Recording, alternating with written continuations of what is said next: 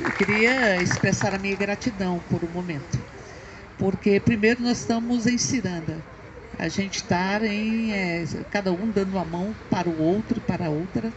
Isso significa que é em Ciranda, eu não tenho nenhuma dúvida, que a gente vai transformar a realidade. É em Ciranda.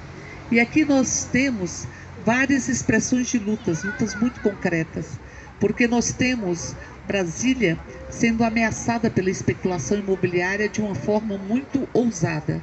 Me lembra muito Nelson Rodrigues quando diz que definitivamente o absurdo está perdendo a modéstia. Porque aqui nós temos a luta da Serrinha, que querem transformar em um bairro de alto luxo.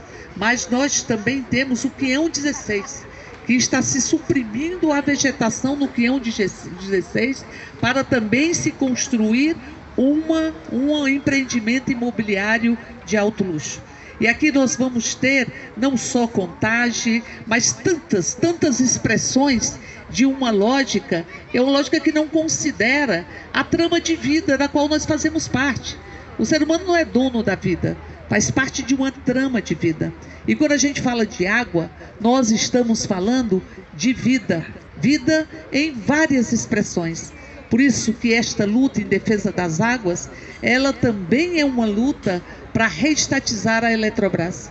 Porque a Eletrobras, quando foi vendida, se vendeu a, se vendeu a vazão dos rios, se vendeu as matas ciliares, se vendeu o subsolo, se vendeu, portanto, o que é fundamental para o próprio país, que são as águas.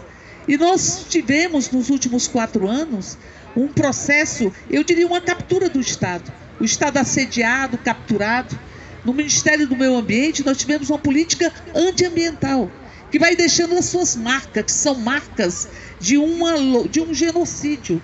As marcas do mercúrio nos rios, a marca do da ter, território Yanomami e tantos outros territórios que foram submetidos a uma lógica de lucro.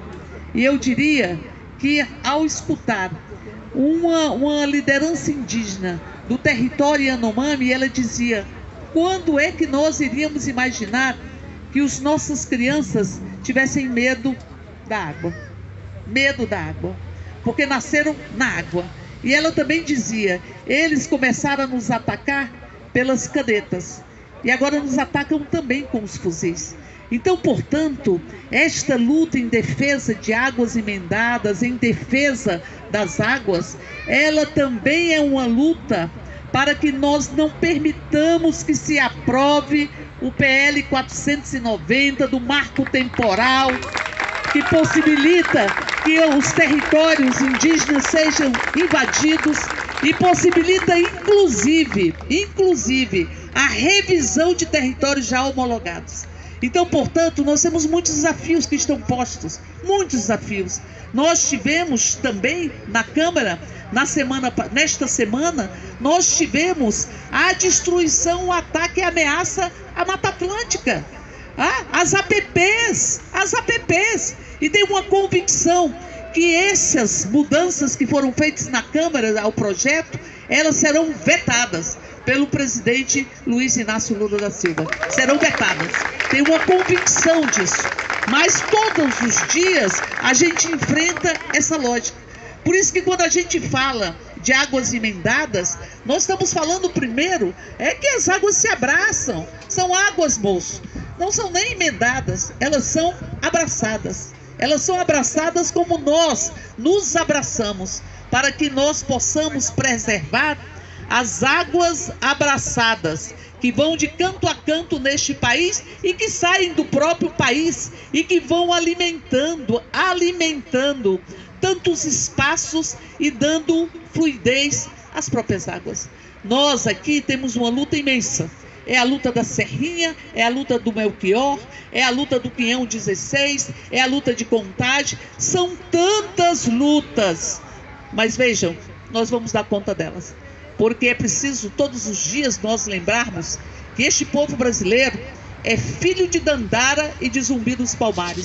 É filho de Marielle Franco.